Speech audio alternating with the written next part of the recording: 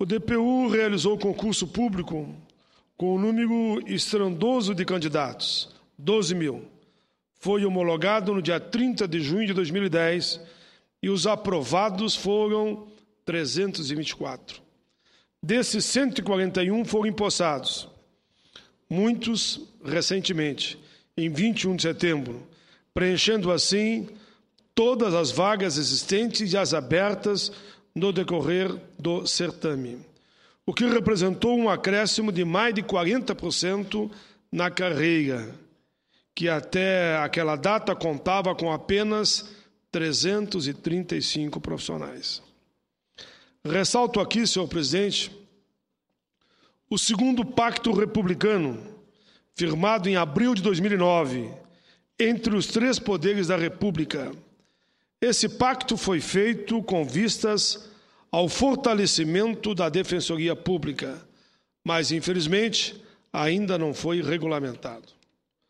Consta no documento que me foi entregue que, naquela data, os presidentes da República, do Senado e da Câmara assim pactuaram o presente pacto republicano de Estado por um sistema de justiça acessível ágil e efetivo tem os seguintes objetivos: primeiro, acesso universal à justiça, especialmente dos mais necessitados.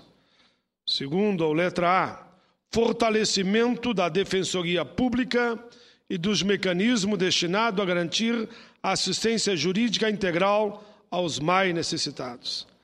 A própria Associação dos Magistrados reconhece a distorção existente entre todas as carreiras jurídicas federais e a Defensoria Pública da União. Segundo a AMB, diz, é clara a percepção que quem mais sofre com essa assimetria é o cidadão.